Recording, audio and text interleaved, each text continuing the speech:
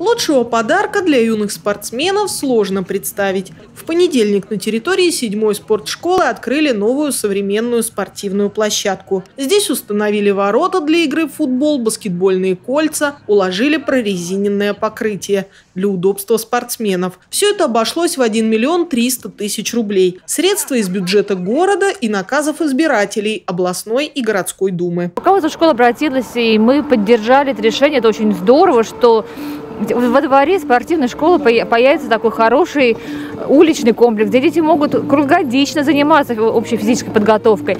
Спортшкола номер 7 в этом году отпраздновала полвека со дня своего основания. В настоящее время в одном небольшом здании тренируются и готовятся покорять спортивные вершины спортсмены нескольких федераций – бокса, греко-римской борьбы, карате, тэквондо и ушу.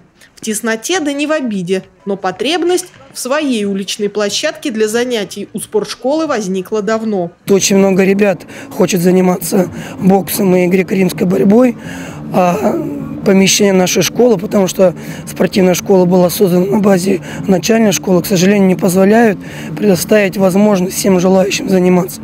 Поэтому всегда нам были необходимы площади дополнительные.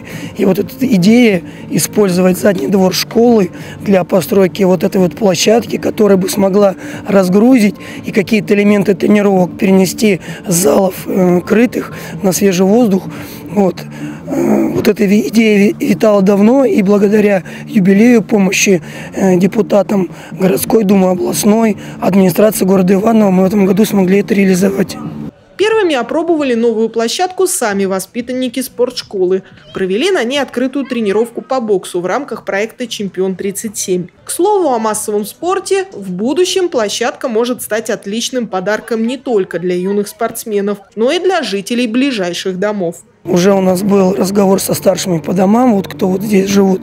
То есть свободное тренировок время, выходные. Мы всегда готовы принять ребят, которые живут в этом районе. Площадкой спортсмены остались довольны. Теперь планируют ее развивать. Уже готовятся установить освещение, чтобы у тренировок на свежем воздухе не было временных ограничений.